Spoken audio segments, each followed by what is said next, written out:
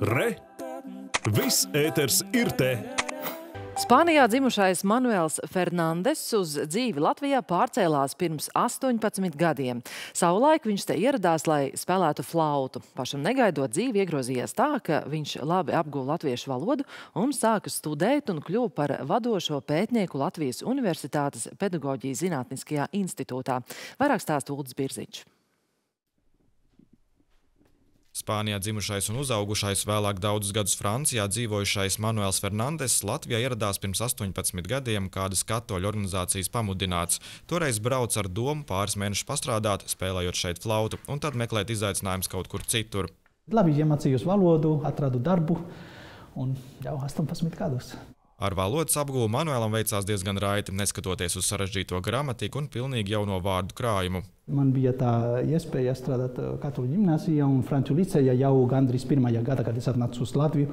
Un tajā latviskā vidē ātrāk iemācās. Un arī bērni ļoti nežēlīgi. Viņi tev saka uzreiz, kas nav pareizi, kas ir pareizi. Un tad uh, tas mudina arī ātrāk mācīties.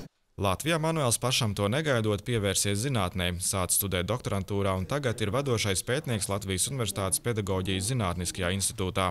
Ļoti, ļoti pozitīvs, ļoti tāds dzīves gudrs un arī ļoti tāds ar, ar ļoti pozitīvu enerģiju apveltīts cilvēks. Viņš spēja ieklausīties cilvēkos, spēja saredzēt cilvēku stiprās puses un arī redz cilvēku potenciālu un to attīsta. Viņa rīcībā ir ļoti plašs zinātnisko instrumentu klāsts, kā pētīt. E, pie tam e, viņš ar šīm savām zināšanām ļoti labprāt dalās.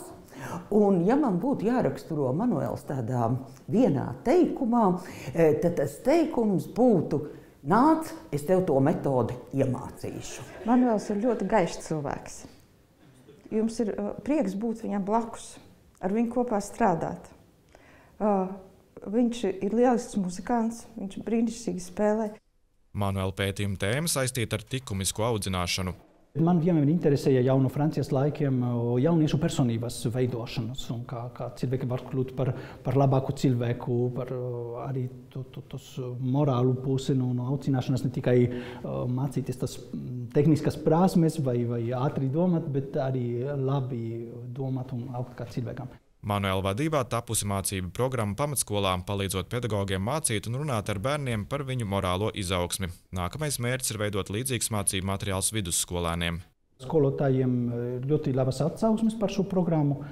Viņi arī iesāka, ko varētu, varētu vēl pilnveidot. Viņi mums ieteica, piemēram, kādas tēmas viņi gribētu redzēt vidusskolā, ka viņiem vajag jā, par attiecībām runāt, ka eh, jauniešiem vajag par eh, dzīves jēgu runāt, par, par eh, tiešsaites vide, kā labāk uzvesties un par atkarībām.